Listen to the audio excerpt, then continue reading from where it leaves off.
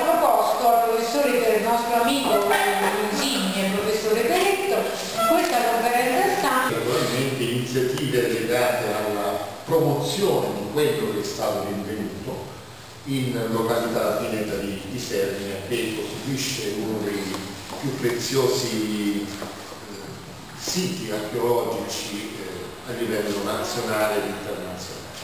Protostoria si intende anche tutti i popoli dell'età del bronzo e tutti quei popoli importantissimi come ad esempio i Samniti o gli Etruschi. Siamo riusciti in questi anni a comprendere l'esatta posizione cronologica di questo sito a circa 620.000 anni da oggi. Anche qui c'è stato l'intervento del gruppo di lavoro dei parigini. Nel corso di questi 30 anni questo sito ha avuto una storia molto importante All'inizio è stato quel sito che ha rotto in, a livello europeo l'idea che l'uomo fosse arrivato appunto sul nostro continente solo 500.000 anni da oggi.